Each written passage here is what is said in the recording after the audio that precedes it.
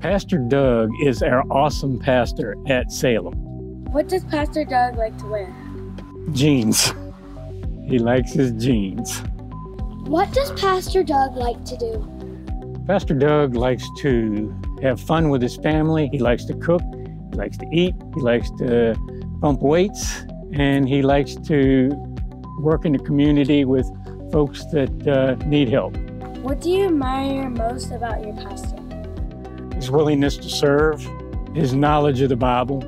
What was your first impression? Well, my first impression was great. Terry's first impression says we found him. We just had to go through the process with everybody else because we were happy. How does your pastor make you feel welcome and included at church? He's always got a smile on his face. He's always he he does something I'm not capable of doing. He remembers names. Uh, been an awesome two years. It's an entire month of appreciation and of all the things that you have to go through, we appreciate. How has your pastor helped you grow in your faith? Well, he's encouraged Bible study, encourages everything that we do with, with Sunday school, and Sunday school is important, and he delivers an awesome message. We're a fortunate church here at Salem, and we are so fortunate to have Pastor Doug and Deb both here. We appreciate both of them, and we thank both of them. Who is Pastor Doug? My friend. Who's your friend?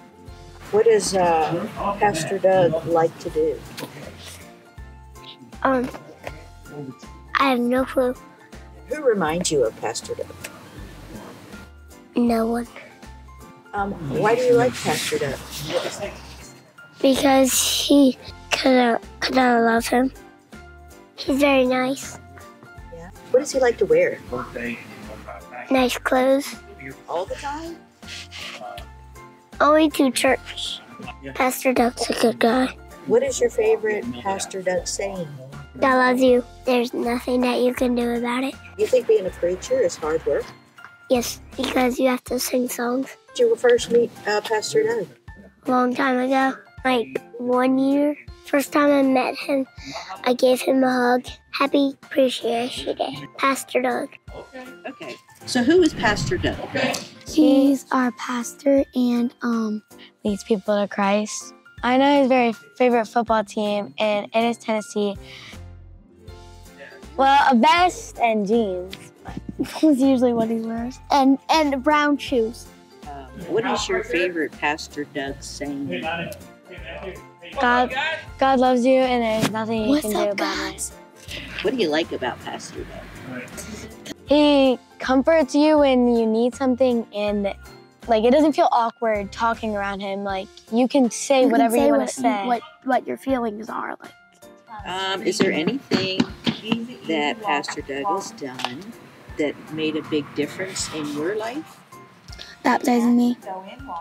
Jim Mailer met with the deacons during the pastoral search, and he charged the deacons loving the person who comes here as a pastor prior to him coming. We had to make up our minds to do that.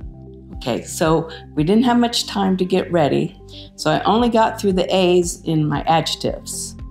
But Doug and Deb, you lead with God's authority, you are authentic, approachable, and very much appreciated. So, Doug and Deb, we love you and we appreciate you and thank God for you.